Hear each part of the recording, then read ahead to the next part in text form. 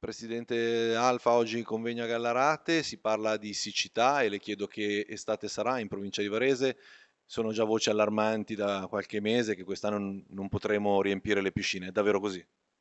Sì, purtroppo si preannuncia un'estate altrettanto difficile come quella che è stata l'anno scorso, però noi da settembre dell'anno scorso abbiamo messo in campo delle azioni per poter mitigare quantomeno quella che si preannuncia però un'altra emergenza idrica a causa proprio della siccità.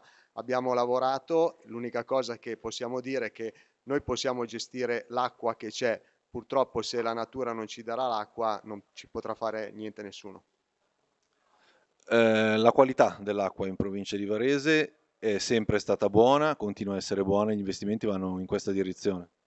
Assolutamente sì e nel convegno di oggi proprio affrontiamo questo tema, cioè la qualità dell'acqua. In provincia di Varese siamo fortunati perché è un'acqua di ottima qualità e inoltre affrontiamo il tema di acqua e salute, ossia quello che l'acqua può fare per il benessere del nostro corpo, della nostra salute e affrontiamo anche un tema molto delicato che è l'acqua e il benessere per i bambini, insomma un tema molto interessante.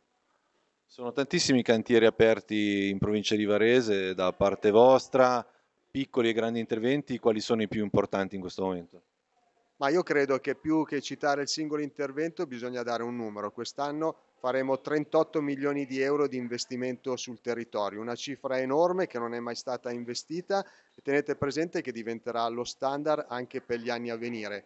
Alfa ha un piano industriale di oltre 500 milioni di euro, stiamo lavorando in maniera molto attenta e puntuale perché il servizio idrico in provincia di Varese deve recuperare un po' di tempo che forse è stato perso negli anni precedenti.